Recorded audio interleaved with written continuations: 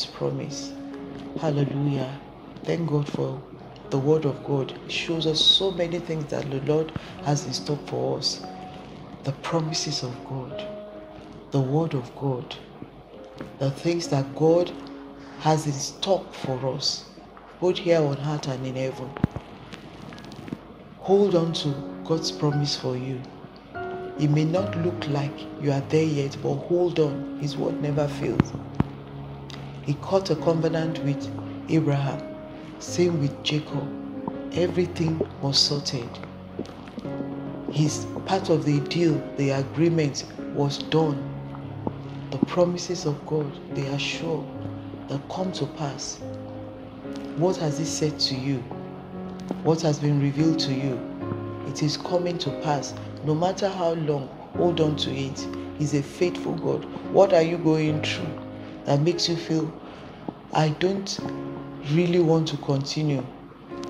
Wants you to either backslide or give up. Don't. You are a child of God. He's not an absentee father. Father. He's not an absentee parent in any way. He will take care of you. He's there for you not an absentee father, as I said. He loves you with an everlasting love. You may be going through some stuff that you don't like, but hold on to His promise, His truth. They are already happening in your life. You might not have seen the manifestation. The Bible says, hold on to Jesus, the author and finisher. He held to God's promise we saw the life Jesus lived. He did the will of the Father. He held on to the word of God. That he says that he will provide, he will supply. Even when the devil came and said, Turn this stone to bread, he used the word. He knows that God is all he requires.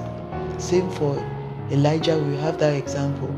He did not base his supply on that uh, bird that was giving him food, neither on the brook where he was drinking from. Hallelujah. He didn't see the raven supplying him food as a source. He saw God as a source, his promise to cater for him. And was it filled? He wasn't filled. We saw that how God took him to the widow of uh, to, to, to the widow who took care of him. Hallelujah, the widow of Zarephath. So hold on to God's promise. He will never fail. He will never forsake you. He loves you. God bless and remain so.